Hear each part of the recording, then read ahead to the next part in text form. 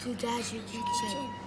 Today we'll be making a surprise sweet for our cousins because we're staying at the farmhouse. Yeah. We will need marshmallow, crackers, pretzel sticks, and Marshmallow. and Nutella. We need to be quiet so no one hears All we need to do is bring the pretzel sticks and put, and put the marshmallows inside. Even if it breaks, you still. Add Nutella. It's ready? Now these candies are ready. So we're gonna go surprise them. Yep.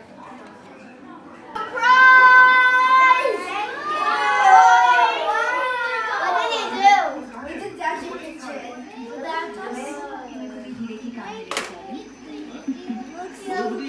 Yay! Take his